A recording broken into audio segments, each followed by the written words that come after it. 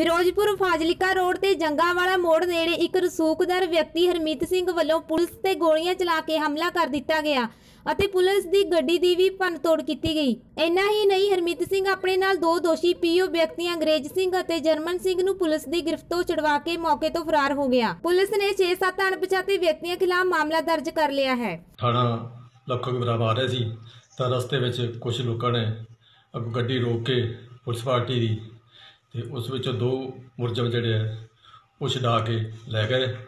ਛਡਾਉਣ ਵਾਲਿਆਂ ਵਿੱਚੋਂ ਇੱਕ ਵਿਅਕਤੀ ਅੰਗਰੇਜ਼ ਸਿੰਘ ਨੂੰ ਮੌਕਾ ਤੇ ਪੁਲਿਸ ਪਾਰਟੀ ਨੇ ਕਾਬੂ ਕੀਤਾ।